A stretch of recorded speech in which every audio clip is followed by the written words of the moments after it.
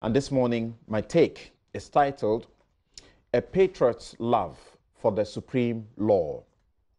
Today, in honor of a most consistent, inspiring, and illuminating irritant of the Republic's love hate patriot, of a one man think tank journalist, of every document interceptor, I share just a couple of his favorite verses of the Ghanaian Constitution.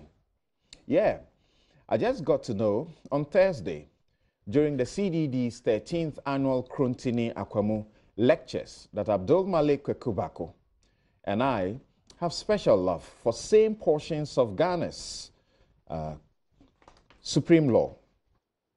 I read out the following with little or no commentary and invite you to pay close attention, for one may be just all you need to quicken the true Ghanaian spirit in you for service to God and country.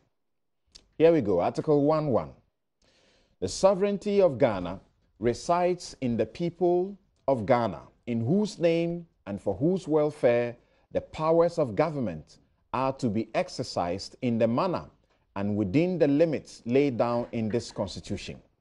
So you see, the power is yours.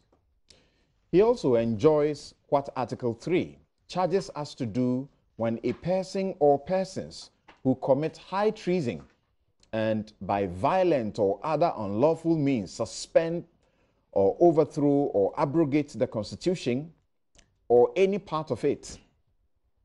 And clause 4 says, All citizens of Ghana shall have the right and duty at all times to defend the Constitution and, in particular, to resist any person or group of persons seeking to commit any of the acts referred to in clause 3 of this article and to do all in their power to restore this constitution after it has been suspended, overthrown, or abrogated.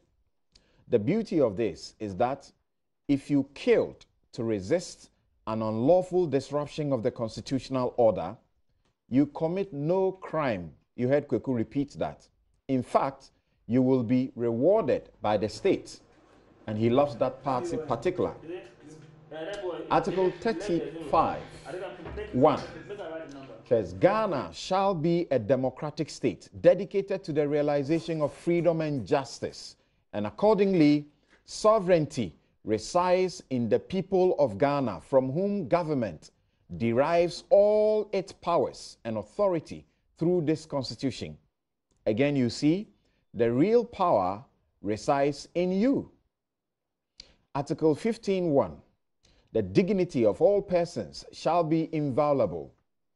No person shall, whether or not he is arrested, restricted, or restrained, or detained, be subjected to torture or cruel, inhuman, or degrading treatment or punishment.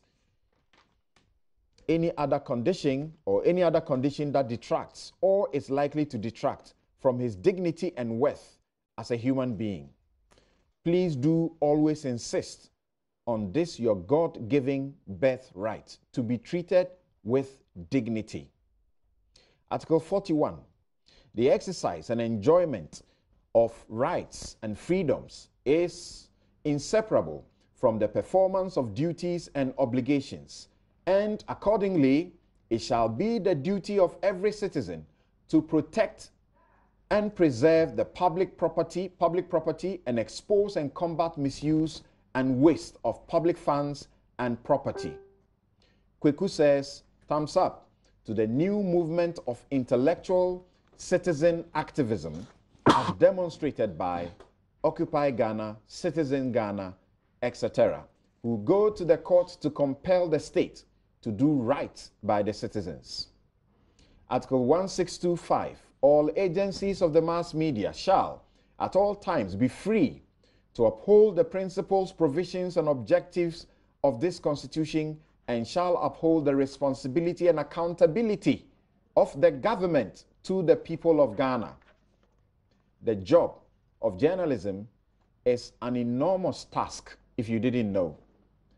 And finally, Article 296, Where in this Constitution or in any other law discretionary power is vested in any person or authority, that discretionary power shall be deemed to imply a duty to be fair and candid.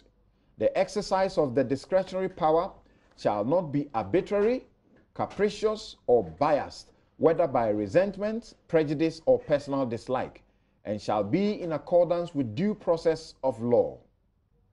So there you have it. Only aspects of six of the 299 articles of the Constitution. Yesterday was your special day. Happy birthday, Abdul Malik Kweku Baako. You're such a great inspiration to me and many in this country. Right, so that's just by way of my take.